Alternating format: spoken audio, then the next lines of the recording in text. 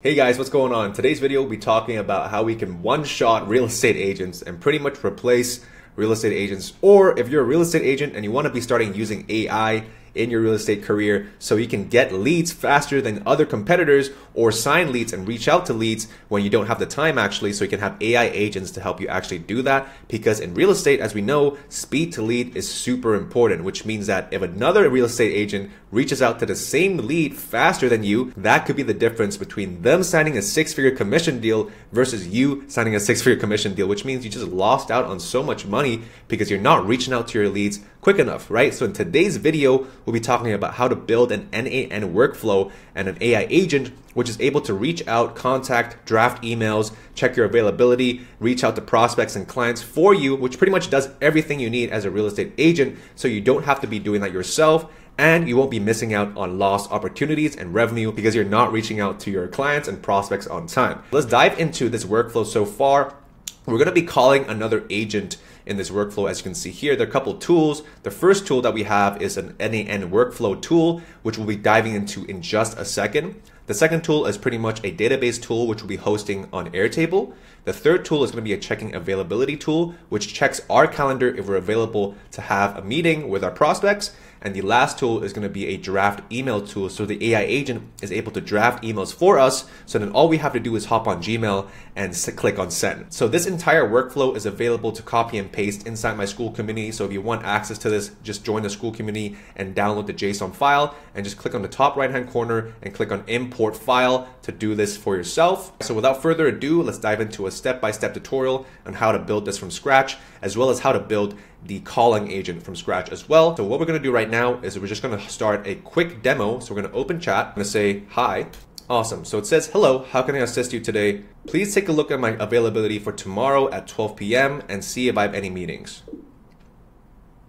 All right, so we're gonna just ask the chat if we have availability tomorrow at 12 p.m. because we wanna actually schedule a meeting with our prospect tomorrow and it says, hey, we're available tomorrow at 12 p.m. And it says, hey, we're actually available tomorrow at 12 p.m. So what we're gonna do now is that since we have availability tomorrow at 12 p.m., we're gonna ask a prospect if he's available at 12 p.m. tomorrow. Hey, can you ask Michael if he's available at 12 p.m. tomorrow? And can you draft an email for me uh, to Michael um, with real time updates on the Canadian real estate market. All right, so what the AI agent now is going to do is going to search Airtable to see Michael's contact. It's then going to ask Groq on what the best thing to say is, going to go back to simple memory, draft an email in Gmail, and then we're going to be able to see what um, it outputs with. So it says, I've checked your availability. what we're going to do now is pretty much hop over to Gmail. All right, so as you can see here, we have an email that has been drafted. All we have to do is just go to drafts, and it says, Hey Michael, um, I hope this email finds you well. I want to share some real time updates on the Canadian real estate market. You then have to insert your updates here, and all you have to do is press send. All right, so as you can see here, um, it's pretty much uh, firing properly. Uh, now we're going to dive in step by step in individual nodes, how to actually set this up for ourselves. All right, so what we're going to do first is just going to hop into the when chat message is received. That's going to be our trigger because we want to first chat with the bot and then the bot's then able to come up with a response for us and determine what type of tools they need to call right? So that's going to be the trigger when chat message is received. You're just going to have to click, click on plus here and click on um, add another trigger. Um, and just going to go down here on chat message. All right, that's going to be the node. Double click on that, and that's pretty much all the settings we need to put um, on chat message receive. We don't have to mess around with the triggers and the uh, inputs here. What we're going to do next is we're going to add an AI agent. So in order to do that, we're going to click on plus here, and we're just going to click on advanced AI, and we're going to click on AI agent. All right. And for the chat model, we're going to be using Groq. So all we do is going to double click on that, connect it to your Groq account. I'm just going to click on add and create a new credential. We're going to go down to model and we're going to select DeepSeek R1 Distill Llama 70B. That is the model that we're going to be using for this demonstration. And now in terms of simple memory, we're just going to click on add here and we're going to click on simple memory. And that is the node we want to attach to the memory uh, portion of the AI agent. We're going to double click on the simple memory. And pretty much what we're going to do is we're going to select connected chat trigger node. And for the session ID, you want to have two curly brackets, dollar sign JSON.session ID, two curly brackets to end uh, that input. That's pretty much all we're going to set for simple memory. We're going to head over to the AI agent actually. And this is going to be a tools agent. So we want to be able to make sure that it's going to be tools, right? And we're going to select connected chat trigger node. We do not want to select define below. And for the prompt, we're going to enter double curly brackets, dollar sign JSON dot chat input double curly brackets. So as you can see here, we have a prompt that we want to put inside the AI agent. So if you want that file, we actually have that right here. Pretty much hashtag role telling him what they are, what we want it to do. We're kind of outlining which tools we wanted to call and certain use cases that we wanted to call. Um, pretty much giving the AI agent instructions on what to do given certain questions. And you want to also make sure that you put in the date as well, which is super important so the AI agent is able to know and determine what the current date is. So you want to be able to make sure you put in the double curly brackets, dollar sign now, and double curly brackets to end that. And if you want this exact kind of prompt here, you can join the free Skool community to get access to this right away and just copy and paste that into your system's message.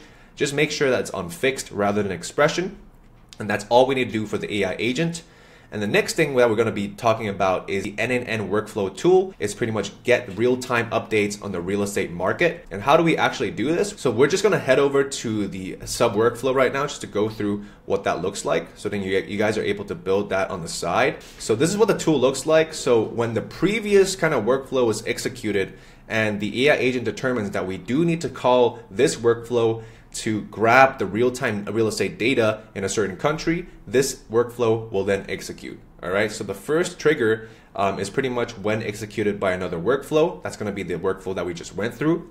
The next trigger is gonna be an RSS read. So how do we connect this? We're just gonna head over to plus here, type in RSS, and that is the first one um, connected right there. We're just gonna double click on that. And in terms of the inputs and the node configurations, what we're going to do is we're going to head in there and we, as you can see here, there's an URL here. So how do we actually get real-time data? We're just going to head over to FeedSpot in order to do this. So we just have to determine what kind of blog or real-time data we want. So just make sure you head over to a blog or a feed which has an RSS feed. All right, so as you can see here, most of these has RSS feeds.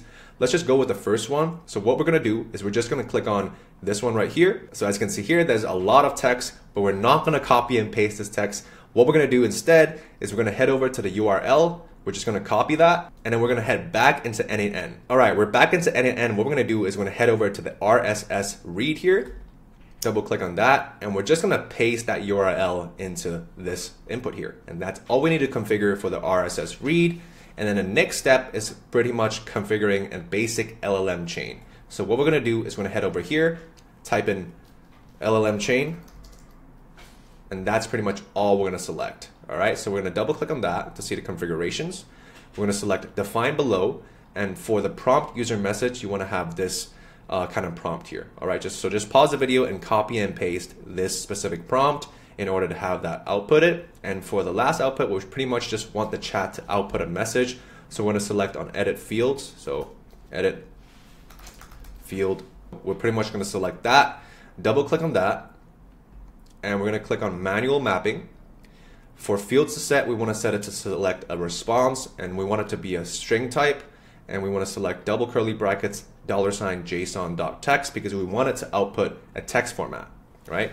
So that's pretty much all we want to do for this step and we're just going to attach a model which is going to be OpenAI for the basic LLM chain. Just go down here, create new credential, paste your uh, API key and you're pretty much all set to go and this is how this is going to fire. All right, so now let's head back into the main flow here and talk about a few of these tools that we want to kind of call here. So the first tool we want to call is the Airtable database. All right, so in order to set up an Airtable tool, we're just to head over to the Airtable kind of platform. And pretty much we're going to have a, workspace named real estate data. We're going to name this called clients and we're to type in the relative important fields that we wanted to actually analyze. And that's pretty much how we're going to set up our data here. And in order to actually uh, create a new credential and attach Airtable, we're just to go over to a Builders Hub here, click on Create New Token, and just name your token like real estate data or something. And for the scopes, you just want it to be set to read, um, and as well as the schema.read. Those are pretty much the two ones you need to attach. And the more importantly, you want to go down to Access, click on Add a Base, and select the database that you want it to connect, and click on Create Token and then just copy that and paste it into um, your search Airtable database credential. So pretty much there. And that's all we need to do. For tool description, we want it to be set automatically. For resource, we want to be set it to record. And for operation, we want to be set to search because we want um, the agent to search data uh, on the Airtable. And make sure you select the relevant and respective lists uh, from the base as well as from the table. And for the return all, we're just going to click that to on. All right, so that's pretty much all we need to set up for the Airtable kind of node. Now for the next node, we're gonna go over to, gonna go over to here and type in Airtable, and we're just gonna click on that. All right, so for the next node, we're gonna select uh, availability. We want the AI agent to see if our calendar is available, right? So we're, all we're gonna do is gonna click on plus here and select calendar, and you wanna select the Google Calendar tool, all right?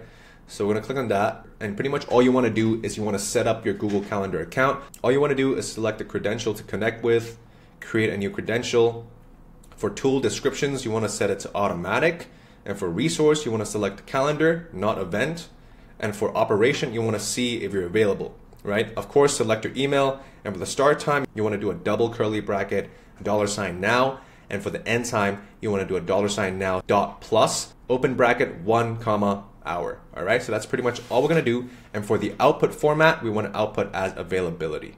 All right, and that is pretty much all we're gonna do for the check availability tool. And last but not least, we're gonna go over to the draft email tool. So what we're gonna do is we're gonna click on a plus here, click on Gmail, and that's pretty much all we're gonna select, the Gmail tool, right? We're gonna double click on that.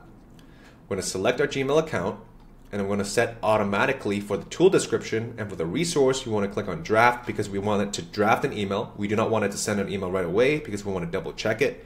And for the operation, we want to click on create because we want, to, we want Gmail to create a draft. All right. For the subject line, we're going to ask it to automatically determine that by clicking on this button here. So AI is going to automatically determine what the subject line is. And for the email type, a lot of people get this wrong by saying HTML, but we actually want it to be text because we were sending an email in text form, right? Not HTML. And for the message, we want the AI to automatically determine that by clicking on the star button on the right hand side. And for the options, you want to select to email and also defined automatically by the model.